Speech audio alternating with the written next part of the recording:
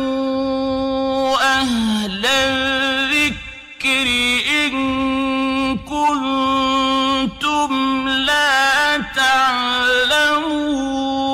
تعلمون ওয়ালাইকুম আসসালাম রহমতুল্লাহ বারাকাত জি সম্মানিত ভাই আপনার যে প্রশ্ন সেটা হচ্ছে সলাতুল হাজা সম্পর্কে আহ, সলাতুল হাজা আহ, আসলে এই সলাতটার সম্পর্কে কিছু হাদিস এসেছে। হাদিসগুলোর অবস্থা একটাও ভালো না। মোটামুটি চারটি হাদিস সব মিলে চারটি হাদিস। এর ভিতরে দুইটি হাদিস আছে জাল, মিথ্যা। আর একটা হাদিস চরম দুর্বল মহাদিসদের গবেষণায়। আর একটা হাদিস জয়ীফ মানে দুর্বল। তো কোনো হাদিসই আমলযোগ্য নাই। এজন্য আমরা ফতোয়া দিয়ে থাকি যে এই সালাতুল হাজা বলে কোনো সালাত নাই। আল্লাহ রসুল থেকে তথা সালাফে সালিহিন থেকে সহি কোনো ভিত্তি নাই সালাতুল হাজা বলে। যে হাদিস আপনি পেশ করেছেন জয়ীফ হাদিস। এক কথাই এটা জেনে রেখেন যে এই মর্মে চারটি হাদিস বর্ণিত হয়েছে। দু রাকাত, কোনোটা দশ রাকাত, কোনোটা বারো রাকাত এবং বিভিন্ন দোয়ার কথা এসেছে। এগুলো একটাও সহি নাই। বললাম যেগুলো জাল, মিথ্যা আর জয়ীফ। আর এই সমস্ত হাদিসের আলোকে আমাদের দেশের অনেক বই লেখক বই লিখেছেন।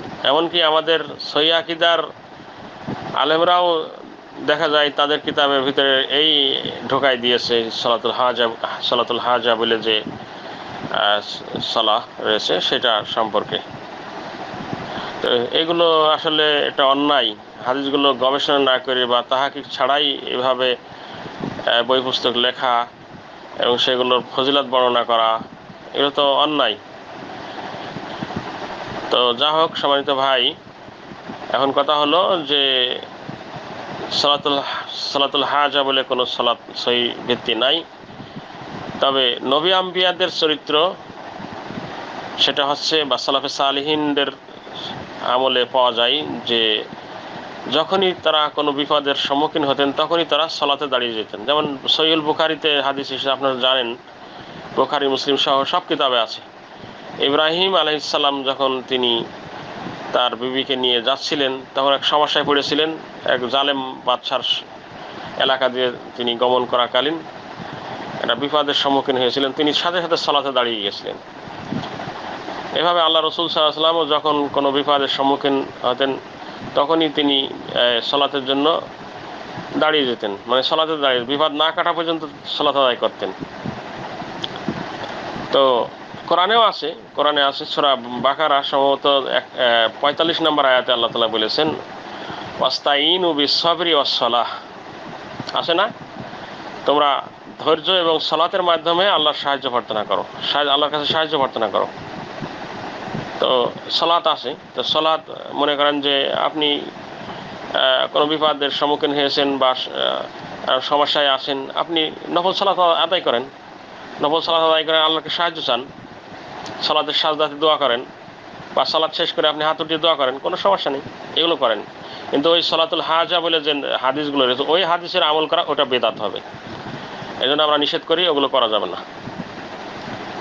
তো আশা করি বুঝতে পেরেছেন, আল্লাহ তালা আমাদের সবাইকে সহি হাদিস মানার তৌফিক দান করুন। কত আমল রয়েছে সহি হাদিসে, যে আমল আমরা করতে পারি না। কত শত আমল রয়েছে সহি হাদিসে আল্লাহ রসুল থেকে অনেক ফজিলাতের কথাও রয়েছে। যেমন সালাতুল এশরাক ফজরের সালাত আদায় করলেন জামাতের সাথে, ওই স্থানে বসে থাকলেন, জিকির আজগার করলেন বা কোরআন তেলাওয়াত করলেন। তারপর সূর্য উদয় হওয়ার দশ পনেরো মিনিট পর দুরাকা সালাত আদায় করলেন, তাহলে কবুল হজ, কবুল ওমরা সব পেলেন। কত বড় ফজিলাত। এবং সূর্যের মতো জলজলে হাদিস। এরকম বহু হাদিস রয়েছে। যেগুলো আমরা আমল করতে পারিনি। কিন্তু ওই জাল, জয়ীব যেগুলো মানে যেগুলো হাদিসই নাই, বা কিছু জয়ীব হাদিস যেগুলো হাদিস কিনা সন্দেহ, সেগুলো নিয়ে আমরা অনেক সময় টানা টানা হেঁচড়া করি, বাড়াবাড়ি করে থাকি। আল্লাহ তালা আমাদের সবাইকে সঠিকটা গ্রহণ করার তফিদান করুন। আমিন। আসসালামু আলাইকুম রহমতুল্লাহ বরকাত